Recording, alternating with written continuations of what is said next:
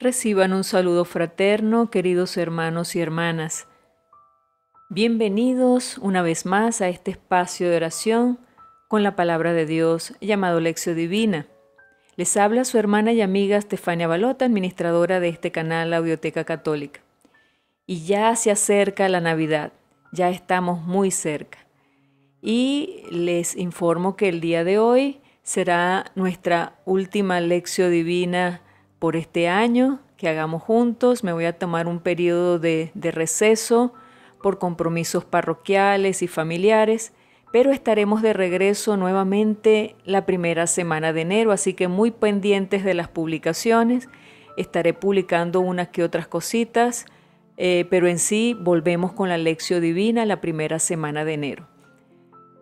Gracias por haber compartido conmigo. No te, no te olvides apoyarnos con el me gusta, suscribiéndote al canal, activando la campanita de notificaciones para que no te pierdas las próximas publicaciones. Sin más preámbulos, vamos a comenzar esta última lección divina de este año 2023, encomendándonos al Espíritu Santo. En el nombre del Padre, del Hijo, del Espíritu Santo. Amén.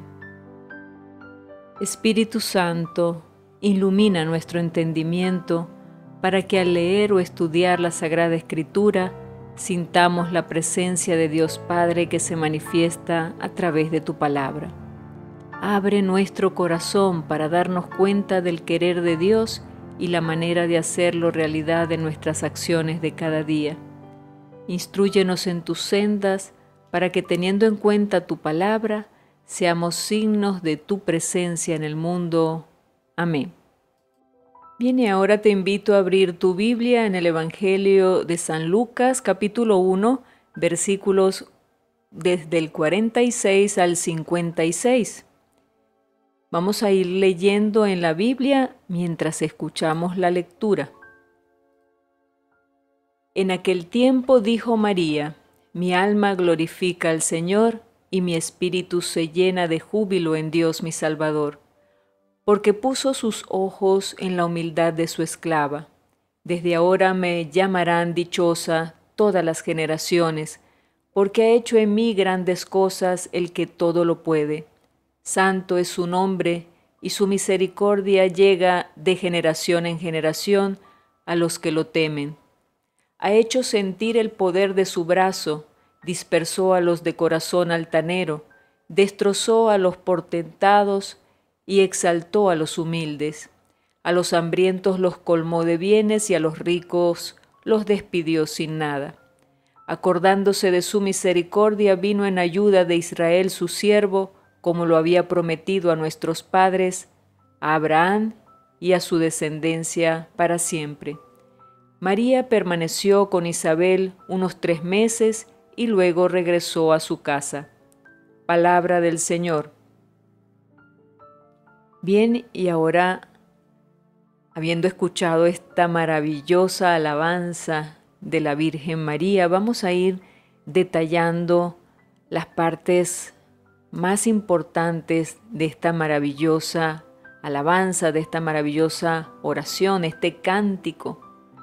Entramos entonces al primer paso de la lección divina que nos lleva a identificar qué dice el texto.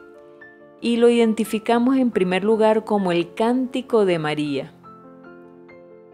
Este era uno de los cánticos de las comunidades de los primeros cristianos y revela el nivel de conciencia y la firmeza de fe que las animaba por dentro.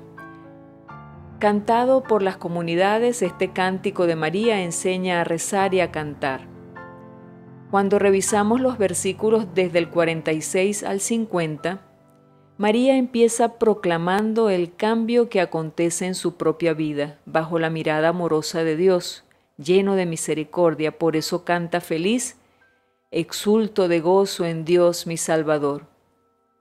En el versículo 51 hasta el 53 vemos que canta la fidelidad de Dios hacia su pueblo y proclama el cambio que el brazo del Señor estaba realizando a favor de los pobres y hambrientos.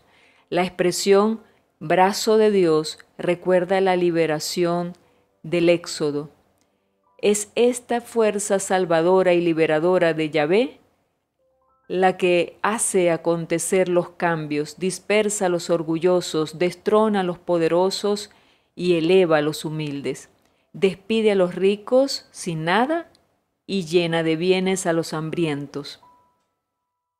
En el versículo 54-55 al final, María recuerda que todo esto es expresión de la misericordia de Dios con su pueblo y expresión de su fidelidad a las promesas hechas a Abraham.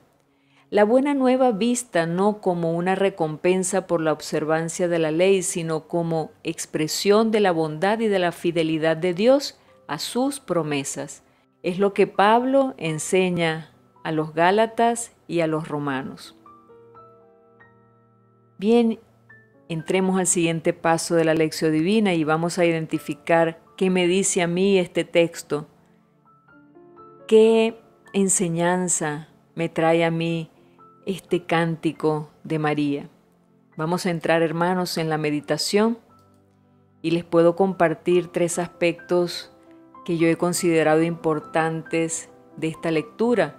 El primero de ellos, mi espíritu se llena de gozo, de júbilo en Dios. Dice la escritura, mi alma glorifica al Señor. María está que no cabe de alegría, parece que explota de la emoción.